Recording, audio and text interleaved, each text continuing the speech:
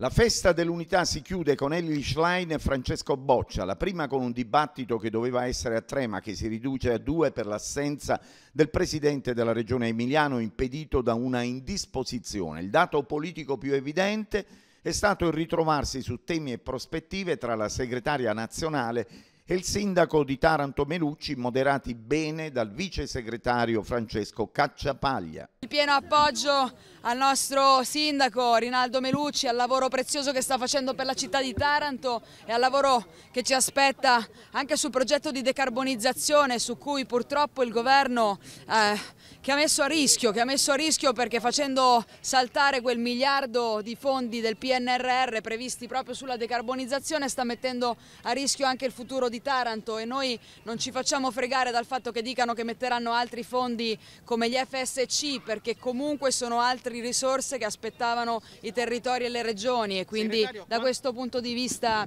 vuol dire che non stanno comunque... Scusi, sto parlando.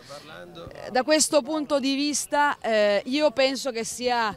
eh, un gioco delle tre carte, quello del governo che toglie comunque risorse a questo territorio, le prende da una parte e le mette da un'altra. Non è una cosa seria, siamo qui a Taranto proprio per ribadire la vicinanza al progetto,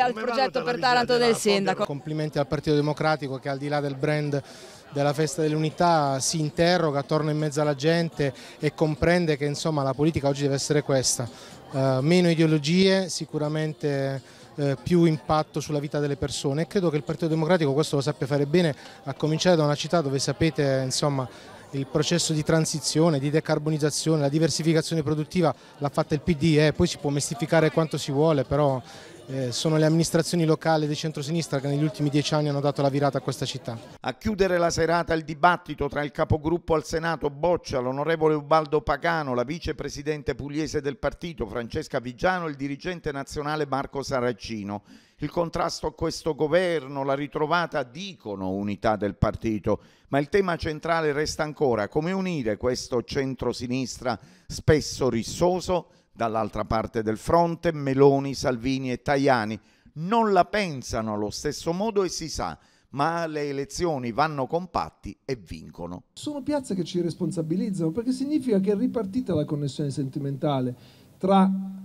il grande popolo della sinistra unita, perché noi vogliamo unirla, dei progressisti uniti,